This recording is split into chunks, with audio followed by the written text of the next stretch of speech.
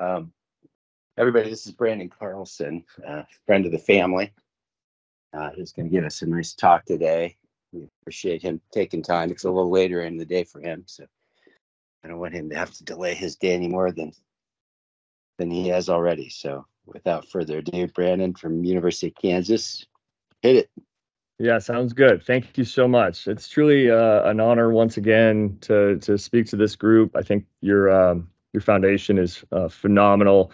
Clearly has un, unprecedented or unparalleled leadership, and the fact that you put on these uh, these conferences for a lot of people around the world is is really fun. And I'm just uh, honored to be a part of that. So uh, they asked me today to talk about robotics in spine surgery. I'm going to go ahead and share my PowerPoint here. Got too many things open. It's working. All right. You guys can see it okay? Yes, sir.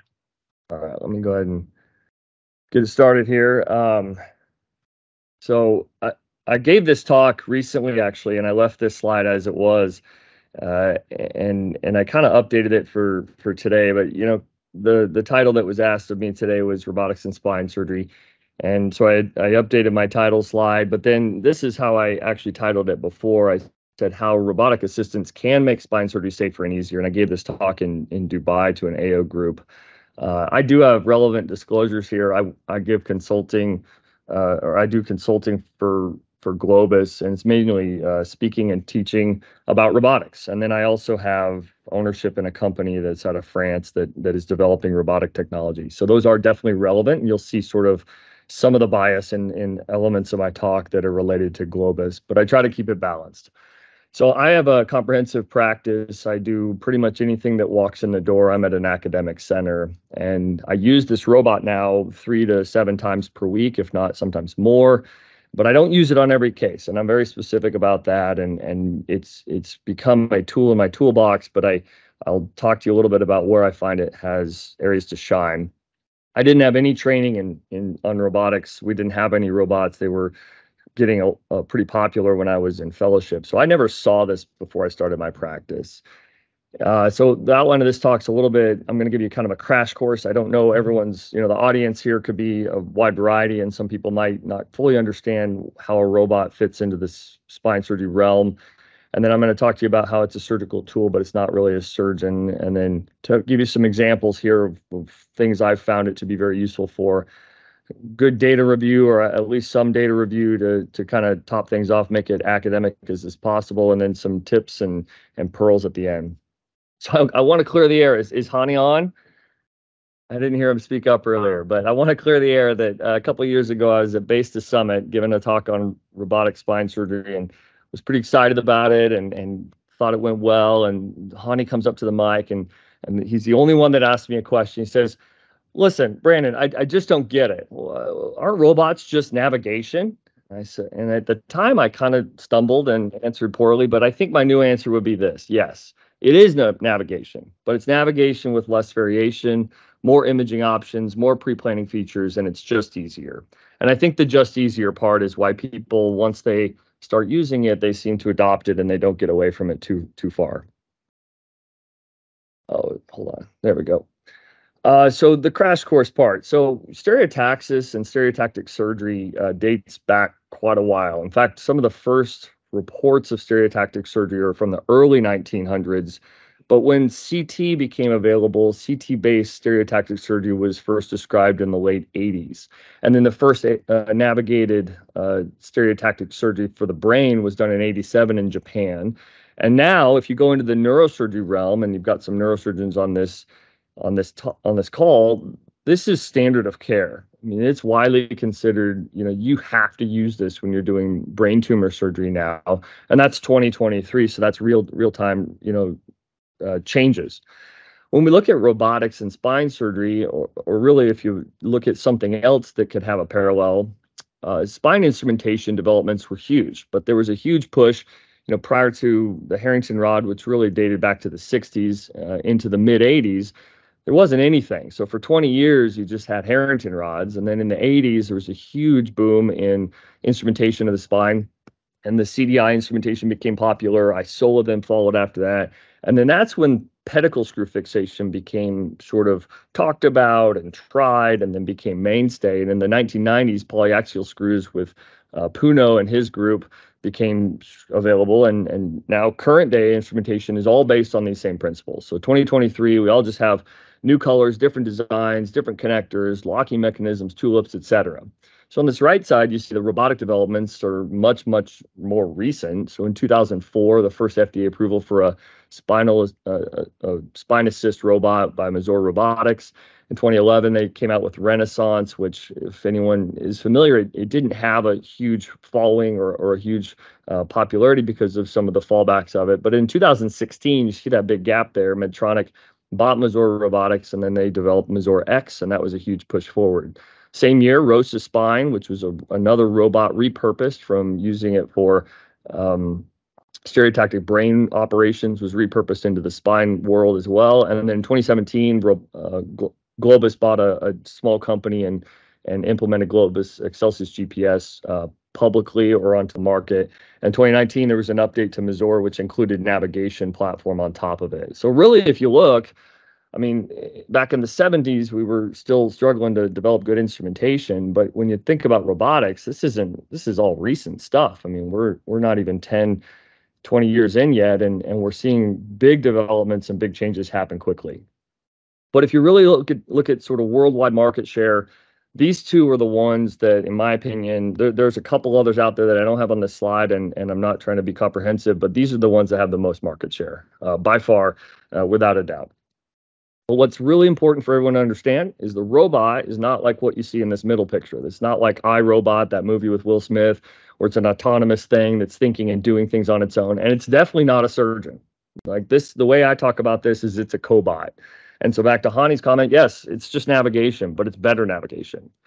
And so if we think of it as navigation and we think of it as a surgical tool, we'll think about all the other surgical tools we have in our operating room, right? From the top left there, the most simple tools are just clamps and things that were developed have all sorts of names to them, right? 30, 40, 50 years ago, they didn't have those. Now we have power tools to make cutting bones and doing total joints easier. We've got ports and, and our, all sorts of uh, laparoscopic type things, which those are huge developments to make surgery smarter, faster, easier with less invasion. We've got special tables for people. You've got arthroscopy stuff in the orthopedic world that makes getting into a joint and visualization better. And then this is an IR procedure. I mean, they didn't have really good IR procedures until the advent of, of common day or, or, or modern day imaging and, and sort of the ways to cannulate vessels. And now all of a sudden that's the, the standard of care. So if you think about a spine surgery, the tools we use in spine surgery, you've got this long list here, and there's all sorts of phases of the surgery that I've kind of listed out here. And we have special retractors, we use cell savers, we use probes and feelers for placing implants, osteotomes, curettes, box cutters. Surgeons get really creative with how to use different instruments in different ways. But where navigation and robotics really fall is just into the implant realm currently. I mean, there's talks about trying to make it do more things and have ways to make surgeons safer in different areas but currently it helps you put implants in and we all are we all acknowledge that and recognize that and that's that's okay. So if we think about the other surgical tools we use to place implants well the most basic would be what we call a Lenke probe or a pedicle probe and certainly that when that was developed it created a different type of instrument that had a little bit more safety margin and was still surgeon driven or surgeon used to place implants through the spine. Navigation came along before robotic assistance and you can see that here. It's still surgeon driven surgeon held. Many people on this call are familiar with that but it helps you visualize the spine in three dimensions uh, with real-time imaging and, and place implants. And then robotic assistance is a step beyond that where there's a arm that assists somebody, and you can see me there placing a screw with my arms going across the bed. And I know Greg Mundis is notorious for placing screws on both sides, but I don't think a lot. I'm, well, I don't do that. Uh, I think that a lot of surgeons feel most comfortable on the side that they're on. Uh, but the robot makes it super easy. You're you're visualizing the instrumentation, you're visualizing the implants as they go in with a pre-planned trajectory and a rigid robotic arm that assists you. So what what is it really? I mean, it's this tracking, it's that's navigation, right? You have trackers on the patient, you have a camera in the room, you have imaging and calibration. So there's a lot of different ways to obtain imaging in the operating room. We're familiar with intraoperative 3D, 3D, which that's most navigation platforms, if not all of them at this point, with the exception of one that I know of, uses intraoperative 3D. So those on the bottom there are two examples.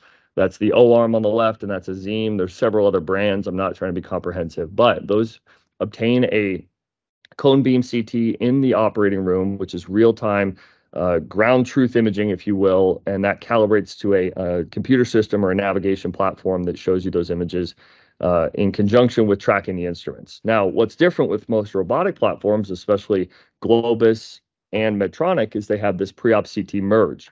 The way this works is you take a CT scan of the patient preoperatively, you load it into the system, you pre-plane your screws, and then this is what it looks like. You've got this we call it a tambourine. Some people call it the birthday cake. This uh, fiducial array is attached to a regular C arm. This is a regular GE 9900 C arm, and you get these black dots on the image. And through that calibration system, and there's tracking balls on this array, you get this. And this is a what, what the merge looks like. I'm going to do a case today with the robot, and this is what I'll look at. That that screen without the dots, or that picture without the dots, is the uh, interpretation of the preoperative CT, and then the one with the dots is the image I took intraoperatively, and the algorithm in the computer, the robot, merges those two together to give me real-time imaging with two fluoro shots. It gives me navigation. And so this is the pre-planning part. There's a screen, and you can see your preoperative CT here on the left. It's already on the screen, and then you plane your screws where you want them to end up, and then really the uh, the workhorse of it is after you've done that, after you've got your imaging capture, you execute the screws. The execution of the screws is the easy part. Rigid robotic arm is the guide. It decreases your instrument variability. There's tracking of the arm, there's tracking of your instruments. It just makes things a little bit faster without radiation. And so here's what it would look like.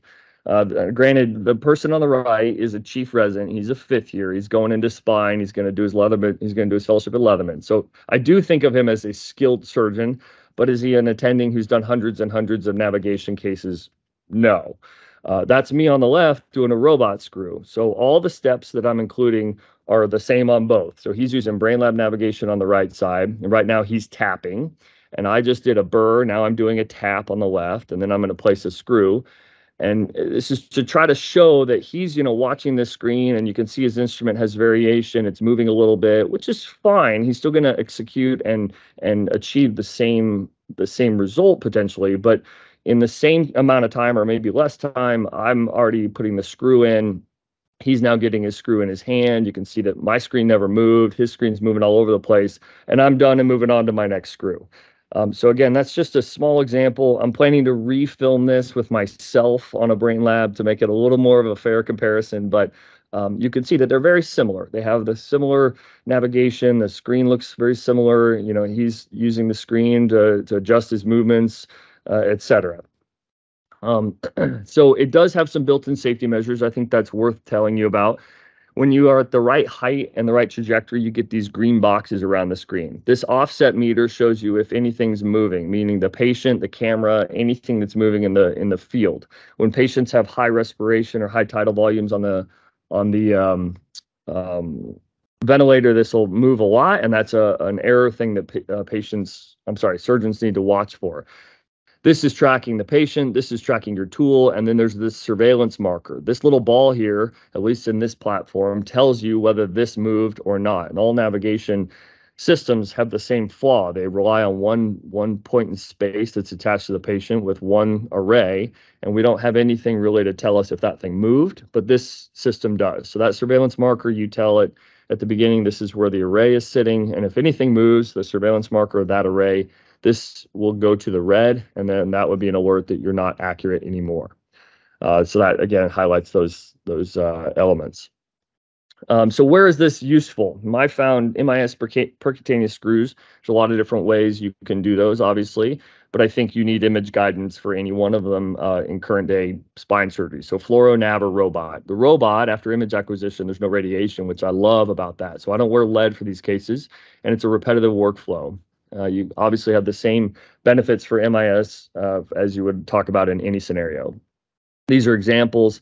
Uh, you know, I used this example once in giving a talk uh, where Han Jo was involved because Han Jo's always harped on, well, it takes forever. You know, it's, it's uh, all these papers they report it takes you 12 minutes to screw or nine minutes to screw, and it's not reality. Like that includes exposure uh, I'm sorry, that includes all the setup. That includes the workflow, the setup of attaching the array on the patient. and then image acquisition, and then implementing screws or executing screws. Executing screws takes about 30 to 45 seconds. The workflow takes a long takes longer, and that's what you got to get good at. But I tell him, how can you look at the spine and through a three centimeter incision obtain these types of screws? And that's where I think that you know any MIS surgeon would would have a similar argument. Other other areas where I found this to be useful instrumenting a previous fusion mass. There's no bony landmarks. Maybe it's a scoliosis patient with dysplastic pedicles, etc. This is a great example of that. So this is a patient at a previous Harrington instrumentation. Uh, we mapped her spine with a preoperative CT scan. You can see the pedicles are very small. You can see the fusion mass is is uh, smooth through here, so there's no actual landmarks uh, when you open up the spine. This was done as an open procedure. Here's another example. This is a small pedicle, very sclerotic and dysplastic in a spondylolisthesis patient. And these are sometimes hard to cannulate, uh, but with navigation and with a drill, you can go right through the, the area of interest. If you had just a, a freehand pedicle feeler, you might uh, go into the wrong uh, area because of the sclerotic bone. Here's another example. This is a fusion mass. This is a patient I did. Uh, you can see this is at the apex of her curve. Uh, there's a lot of rotation here, that rotational anatomy uh, creates dysplasia through that pedicle. It's a very small pedicle. You can see the cord. This myelogram obviously is is right up next to that. So this is uh, another great example with a couple fluoro shots. You're going to get accurate navigation and go through the uh, proper area the first time. Other examples that I found it to be very useful is iliac fixation or S2AI screws. It only requires two fluoro shots. It's very quick. Uh, get perfect placement almost every single time on the first try. I don't have as much distal skin or fascia dissection. I pre-plan the alignment of the pedicle screws to line up with my other instrumentation, even though I freehand open uh, deformity cases from there up. It maximizes the screw length and diameter. I can get additional anchors without uh, too much trouble, and I can plan around previous hardware or line up with previous hardware if they've had, if it's a revision type surgery. Here's an example of that. So this is a woman, I wanted two anchors on one side because she had a coronal imbalance. You'll see her film here in a second. And very easily I can look at this. This is all in the pre-planning screw uh, screen on the on the robot. You can plan right in the middle of the teardrop at the at the bottom at the top and these two screws you know right up to the to the to the joint there and this is the result with two fluoro shots in 17 minutes uh, I can get three iliacs without too much difficulty, without too much cognitive load, not having to worry about it too much. And the distal dissection is smaller. I've seen uh, I've seen cases where it takes them more than 15 minutes to get a Foley in place. So for me, 17 minutes of attaching the clamp, putting in three screws, not having to worry too much, and having them line up perfectly is worth it. It's it's two fluoro shots, not a lot of radiation, not a lot of fiddle factor.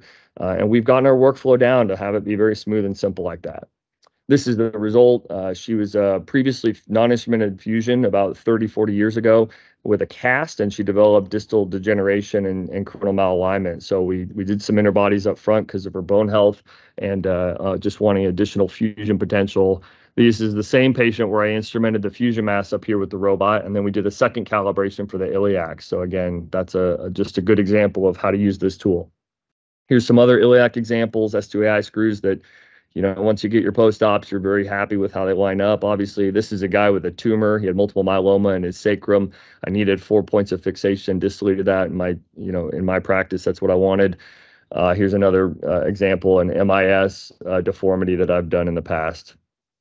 So what about the data? Uh, most papers that are out here, they they look at navigation, they look at freehand, they look at 2D fluoro, for example, or 3D, which is navigation potential uh, or navigation platforms, and most of them show you know mid to high 90% accuracy of, of different parts of the spine, and, and that's pretty consistent. When you start to look at 3D nav plat, uh, platforms and papers that are on that, they show high accuracy, not 100, uh, but robot assisted seem to have the highest accuracy in this paper, for example, 97.4%. Um, uh, high successful, you know, with only 2.6 reposition. Again, that's with robot assisted platforms. There's a lot of papers, in, improved accuracy with the robotic group, fewer facet violations. That's probably from the pre-planning versus the the real-time freehand. Again, uh, accuracy of 97%, no facet violations. Again, accuracy 99%. So you're seeing a lot of trends here. I mean, a lot of this is going to be based on surgeon accurate or surgeon uh, control and surgeon uh, utilization of the product. And, and, there's a lot of things about navigation in general that I could talk about for hours about you know, the the user is in charge of the accuracy, so to speak. Uh, here's another one: decreased radiation dosage. Uh, that's a pretty important thing, in my opinion. I think a lot of us who do MIS procedures, we're worried about that long term. And another one with a lot of radiation reduction in the robotic group. Here's a bunch of other papers I pulled up just last night. Uh, this is since 2022. Again, not looking at a comprehensive literature search here, but you can see trends that are happening. Robotics in cervical spine surgery, another paper on clinical outcomes, surgeon well-being and ergonomics, how we're going to use it in pediatric spine surgery, uh, the learning curves and, and how we should apply it to our residency curricula. Uh, increased pedicle screw sizes and uh, indicated by uh, elevated trigger triggered EMG. So really high EMG levels means probably perfect screws, outcomes and complications in a five-year trend. All really, really important. Uh, I'm going to fly through this really fast because I'm kind of, I think I'll get a little bit over time if I don't. But we looked at our first 101 cases. This is a few years back now. And, and just to go through it really quickly to show you what two surgeons who'd never used a robot before, what we found. Um, we'd use it in the thoracic spine. You can see 34 screws here. This is a tumor procedure I did. Um, lateral or lumbar and degenerative screws, uh, mostly in the lumbar spine. Mostly were PERC. We had 406 screws in 91 cases. We did 16 S2AI screws in that initial series of 101 cases. Here's what we found. We only had two screws that we aborted or removed. That's pretty good in my opinion. I think for any nav platform, uh, the accuracies are all really high if you respect the rules of navigation. One thing that I think was important also is we didn't abandon the robot ever. There's a lot of papers out there that talk about when the when the robot uh, you have an error or something's off, the calibration's off, they just get rid of the robot and they go to freehand. Um, this is an example of a tumor case I did this just didn't look like my plan. I didn't think that it was wrong, but it just didn't look like my plan. So I decided to take it out, and the clinical uh, result wasn't any different. And so this was uh, recent, as of 417, 2023. At our institution, we've done 710 robot cases. I've found at least five aborted or removed screw cases with no neuro deficits and no returns to the OR for screw malposition. That's our experience at this institution. I think that there's, again, so many variables in navigation utilization that you can't capture with a lot of these types of papers. Uh, so it, it might sound biased and it might bias, but I'll just tell you that we're very, very careful with this type of technology. Here's examples. Uh, again, I'll go quickly through these. This was one of my uh, early cases, a third case. We did no arm spin. Uh, please ju uh, don't judge my segmental lordosis here. I was still young in my in my career, and I think I've done a, a few other things to try to get those uh, images looking better and, and hopefully give those patients longer term good results. Here's another one, 14th case is the first time I did a CT merge after an interbody. That's another topic that comes up a lot is if you put a metallic interbody in, does your pre-op CT, can it merge? Because it looked like this, but yes, you can. It, it does work. There's a, a really good algorithm. This is my 39th case. We were still doing O-arm spins after flipping after an ALIF. Here's an S2AI example. Um, once again, seven to nine minute total for this one with a CT merge. I'm usually around 15 minutes. It's pretty consistent for me now for, for iliacs. This is another more complicated case. I did this about a year after starting to use the robot. Uh, this is a discitis case in a young guy, 47.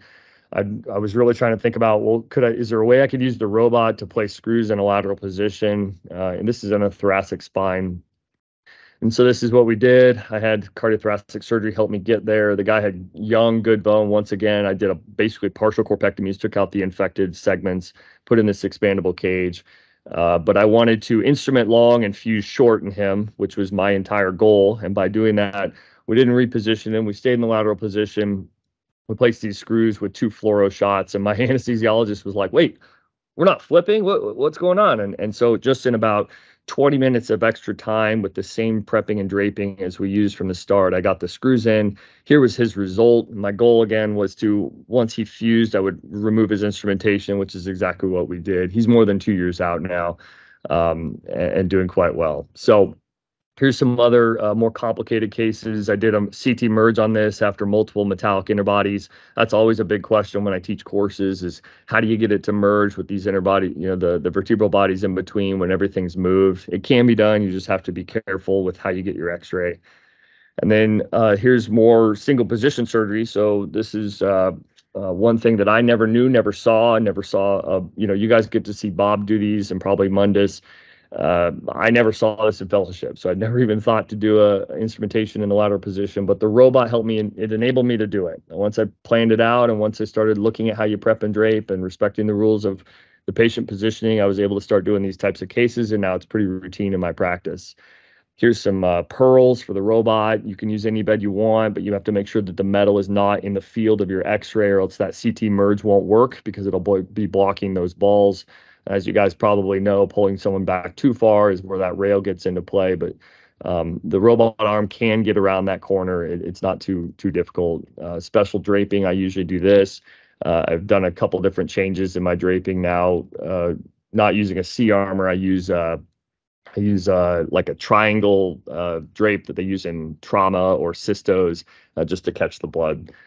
Here's the cases I found of my own that remove screws, small pedicles when it's the last screw after you put in a large one on the other side. There's a lot of torque that can happen when you put in large screws.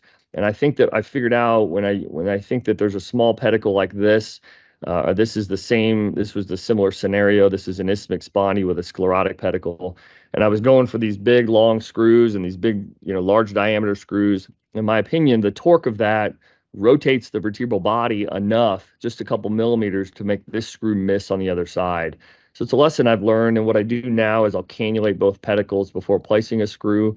I use a, a, drill and then a tap, and then I'll go back and put the screw in and start one screw and then go start the other screw. I've not had a missed screw since learning that lesson, but uh, both of these or all these scenarios, I just removed the screws in the operating room. No one had any uh, returns or clinical implications, no neurologic deficits.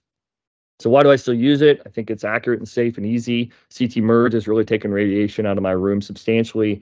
I've learned a couple different ways to do single position surgery now, MIS and other traumas, tumors, S2AI. These are things that uh, have just become easier with this tool in my hands. Uh, again, it's just a tool. I think that it can be used in specific cases and not for others. I don't force it into every type of surgery. Uh, I think, though, there's a lot to come. Robotic platforms are not going away. They're going to evolve and they're going to get better. And this is just the beginning. Here's the other reasons I still use it. I get x-rays that look like this all the time. And this isn't like a, a showing off type of thing, but this is just what you expect. This is now what I expect every every time because the planning and and how the robot is is super accurate. It just gets these types of x-rays.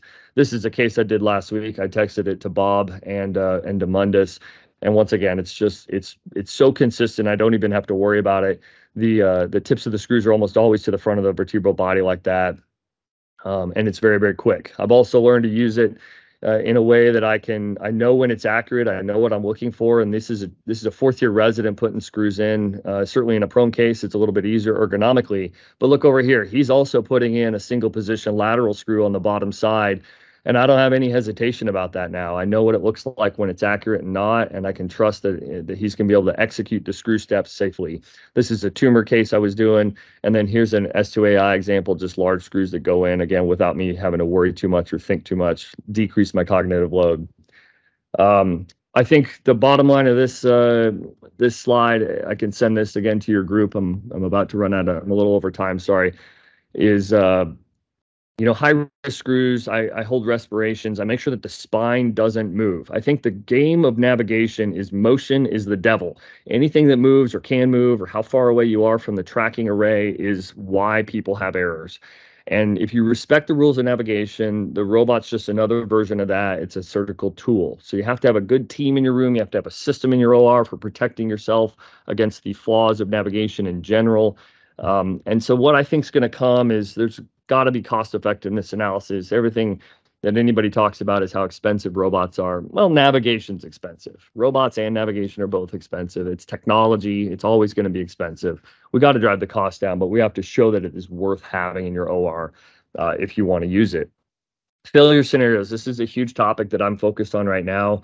I think this is where people, if you've heard a horror story about a robot, it's probably um, the, it wasn't the robot's fault. I guess the robot is always right. The only thing it's so simple. It only tracks the the balls in the in the field. It's when the calibration is off or you're too far away from the tracking device that you have problems. So I'm working on how to teach failure scenarios similar to how pilots are trained for failure scenarios in the aviation industry and, and i think that that's going to come out soon i've got a, a, lot of my data already already pulled and i'm and i'm working on the way to to tell that message or, or hopefully spread that message I think the future of navigation is going to be true real-time segmental spine tracking. That's going to change the game if we can track every vertebra in real time. There'll be more arms, probably faster calibration, smaller arms, et cetera. Navigation without ionizing radiation has also got to become part of our mainstay. Anything that we can navigate without irradiating the patient or radiating ourselves is going to be a game changer. Uh, lastly, just keep giving positive thoughts to my partner, Dr. Burton. These are all recent pictures. Our OR staff um, is is super supportive of him. Uh, they dedicated his OR to with a plaque, and, and that was the morning of it. These are all four of us uh, spine surgeon partners here uh, recent dinner with some other prominent spine surgeons. Greg came out recently, last week or two weeks ago, and uh, and had dinner with him at his house. So please just keep your positive thoughts. If you know him, give him a call. Uh, he's doing great right now, but but he that that positive energy goes a long way. So uh, with that, I'll go ahead and get out of this and see if anybody has some questions. I got about I got uh, probably five minutes if you guys still do.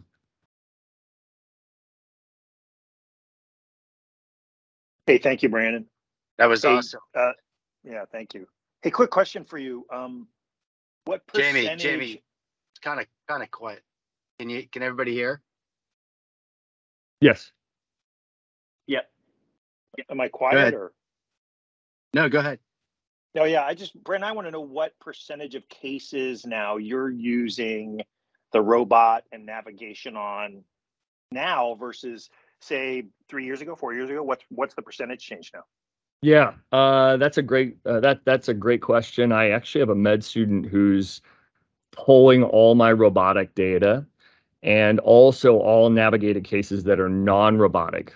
Um, so let me try to answer that in a, in two ways, just to be comprehensive for you. We have multiple nav platforms here, and um, we share the robot with neurosurgery, and we have a schedule for that. So there are days that I'm doing an MIS case and I just use a different nav platform. We have Stealth and we have Brainlab and um, and and I'm I'm comfortable doing that. And I actually do that on purpose sometimes to teach the residents. So for an MIS case, for me, like if I showed you a one or a two level fusion, lumbar fusion with MIS screws, it's a hundred percent some navigation platform. Now, on the days that I have the robot, I'll prefer the robot because it's just less radiation. The other nav platform doesn't have the CT merge, and so that for me has been a big, a big change in my OR. Is If I can get a pre-op CT, two fluoro shots is so much faster. The radiology technicians don't have to worry about the O arm or the other 3D imaging platform we have, and you know you don't have to worry about which tech you have. They just come in, they take the shots, and then the robot's pre-planned, and it's it's go time. Um, so I we were careful to adopt. So this is part two. We were careful to adopt uh, and wanted to learn all the nuances about robotics versus regular navigation.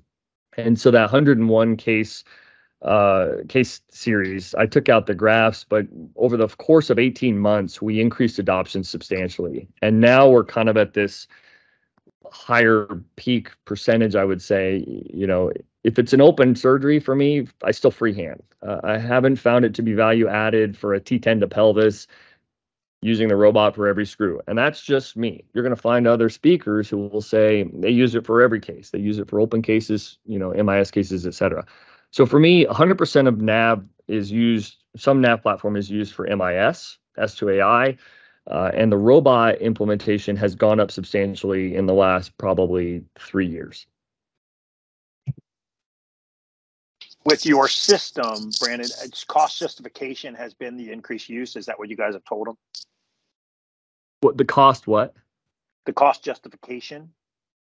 No. So if you really look at the durable or the um, the disposables that go along with navigation or robotics, we're almost the same cost. I haven't put that number out there because uh, I was told that the durables cost at each institution is somewhat protected or proprietary. I'm not trying to like put our numbers out there, but if, if I do a Brainlab case and if I do a robotic case, the the incremental um, cost for the surgery is the same, uh, whether it's the drapes, the burr tip, or the balls. Um, they're almost identical. I think the robot is like seventy-five dollars more for one different drape. Uh, so we haven't really got in discussion with our institution about cost. They saw their ROI from our ability to attract more minimally invasive fusion cases. So the faster, uh, you know, the MIS equals, as we all know, shorter length of stay, quicker time out of the hospital, same DRG, same type of surgery. Um, we didn't really market it. I think there's some places that want to market the heck out of it and say they do robotic surgery. That being said, I do have patients who have told patients, and they come to me because they want to have a robot case. I tell them what I just told you guys. It's just a tool, and, and it's navigation, and the, the goal here is small incisions and get you out of the hospital with less pain. So we've had conversations about the ROI from this is not from you know the tool in the OR. It's about the surgeon or about the patient experience and getting them out of the hospital faster. And they're watching that, and they're they're believers in that. Yeah, we're, Brandon- we're in the middle. Go ahead. Good, Jamie. Yeah, we're in the middle of that discussion, and, and that is the issue is the capital cost and the ROI on the capital cost for our folks. Bob knows this too. You know, we're deep in that discussion and trying to get them to understand that this now has become something that's good for the hospital to drive efficiency, to drive less complications, you know, better patient experience, you know, makes the operation safer for us as surgeons, less radiation, but also for the patients themselves. So that's an ongoing discussion. So thanks for that clarity. Yeah, absolutely. Brandon, a, a quick question. Uh, the great talk, and uh, just wanted to see uh, if you use the uh, uh, robotic for just the pediatric idiopathic scoliosis, um, I- or, I not. currently do not. I currently do not. I I freehand those cases. Um, uh, maybe I'm a dying breed. I've heard of some neurosurgery fellowships and residencies that that like they're 100% navigation, and, and I think that there might be a parallel there with the brain surgery. It's just part of their workflow. Uh, I'm not saying everyone is, but when I Burton, I learned landmarks. I learned open anatomy. I, I learned the ways to to get into challenging pedicles. Sometimes you miss a pedicle. and That's okay. You miss a screw. Well, you find other ways to instrument the spine or, or get anchors. And so for me, currently, it's not. That- There's a there's a piece to that, um, Dr. A, that pediatric spines are very mobile. And many times when we're getting landmarks for a scoliosis case, for example, you do facetectomies. And when you do facetectomy, it becomes more mobile. And that mobility, in my opinion, is very dangerous for any navigation platform if you don't know what you're using. Because theoretically, you'd be attaching the array to a spinous process that's five or six segments away from where you're working. And those segmental changes and those segmental movements, especially after facetectomies, are dangerous because all the computer knows, whether it's nav or robotics, is where the spine was in space at the time you got your scan. And there's only one anchor point to the spine. So anything that changed between the time you got your scan and when you're trying to put a screw in that maybe only eight inches away, but has five segmental motion segments in between, that's dangerous. So for me, I still rely on my own eyes. I feel, you know, I feel every pedicle, things like that. Thanks. Any other questions for Yeah, hey, Dr. A, I would add one thing to that. We've adopted the 7D flash registration. Um, and because you do segmental registration, you can move the array up and down the spine and it literally takes seconds. You have an understanding of where that segment is independent of how the spine is moved. So it's uh, continuously updating, you know, the registration. And I think that's a real game changer. I definitely agree with that comment. That that 7D has one of the few technologies that in real time without ionizing radiation can update what you're looking at. Uh, it requ- it requires an open procedure, but I wh- whomever just said that I 100% agree. That would be the way to be the safest. And that's why on that last slide, I think the next big step is real-time tracking of our of our vertebra with some other type of sensor or some other type of ultrasound or who knows what uh, because then you get real-time segmental tracking even for MIS cases. That's the big chasm right there. Huh? MIS will be the last to fall. I hope so. Anybody else? Well, again, hey, Brandon, thanks a bunch for being with us. Good of course. see you. Always a pleasure. Thank you, Brandon. Thank Anybody you. can email me if they have any questions or you guys want that slide deck. I'm happy to share. But thanks again, Bob, for the invite. You bet. Have Looking forward to see you hopefully next week. Absolutely, Dr. A. will hopefully see you. Thanks. Right. Bye bye.